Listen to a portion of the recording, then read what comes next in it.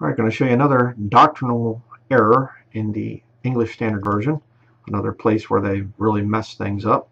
Deuteronomy chapter 32, verse 8 and 9 says, When the Most High divided to the nations their inheritance, when he separated the sons of Adam, he set the bounds of the people according to the number of the children of Israel. For the Lord's portion is his people, Jacob is the lot of his inheritance. All right, there are the bounds there, there are 12 it's the number of the children of Israel, 12 boundaries. You say, well, that's Old Testament. That doesn't matter. That's not relevant for today. Actually, yes, it is. Because if you go to Acts chapter 17, the oft quoted, uh, you know, well, we're all of one blood. We're all of one blood. And they never quote the whole verse. It's amazing. Acts chapter 17, verse 26, and hath made of one blood all nations of men for to dwell on all the face of the earth. That's where people stop.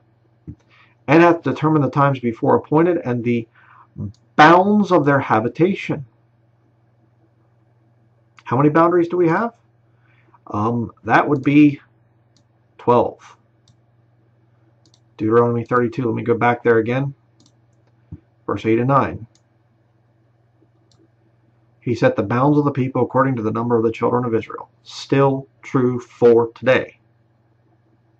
People are disobeying it with all the globalism and everything else. I'll read Genesis chapter, I think 9 through 11 in, in there, and you'll see the thing about why God wants people separated. But look at the ESV. When the Most High gave to the nations their inheritance, and when he divided mankind, he fixed the borders of the peoples according to the number of the sons of God. Huh?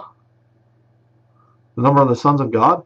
But the Lord's portion is his people, Jacob his allotted heritage. It's not the children of Israel anymore. It's now just the sons of God. Well, apparently that's a lot of borders. How many sons of God were there in the Old Testament? Sons of God in the Old Testament are angels. How many angels are there? Must be a lot of borders. Why change it? Really messed up.